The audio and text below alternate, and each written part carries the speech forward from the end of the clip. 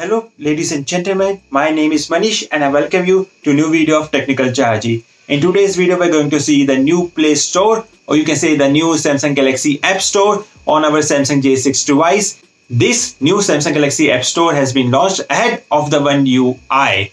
So let's see what kind of new features or new UI we are getting with this Samsung Galaxy App Store.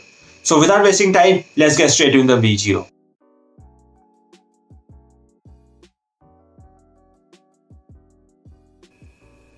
So this is my Samsung J6 and let me just show you here over here.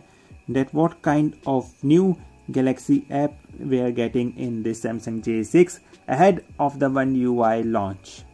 So this is your Galaxy app which is showing it right now of the earlier version. Now if you want to go to your new version you need to update this feature. First let me just press update. Okay. So the new update is approximately of 19 MB and it's now downloading the new version. I know many few users uses this new Samsung Galaxy App Store but we are already happy with our Google Play Store. But let's see that what kind of new features we are getting in this Galaxy apps.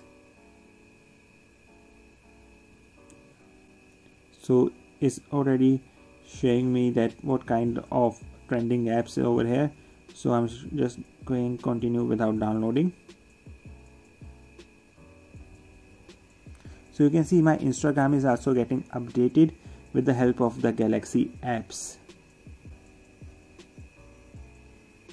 So I'm just showing it showing me that what kind of apps I can download and what will be the impact on my space. I don't want to add any app so I'm just saying continue without downloading over here it will ask me for the language. I'm just happy with okay. English only. So it's like our google play store only. So same ui as of the google play store same apps as of the google play store. Even if i want to explore even if i want to go to settings i can do that. I can stop auto update turn off. Marketing information i don't want. Notification i don't want because i don't want my battery to be burnt out by this app. And if I want to play a game or download any new game I can do it over here as well. If you want to play PUBG you can also do the PUBG over here as well. The same thing which you are getting in your Google Play Store. So that's all from the video which we're getting the one UI type of interface in our Samsung Galaxy app do let me know in the comment below whether you use a Samsung Galaxy App Store or whether you use a Play Store. So if you like this video, give a big thumbs up. Don't forget to share this video with your friends and don't forget to subscribe to my channel for such interesting video. And I see you in the next video.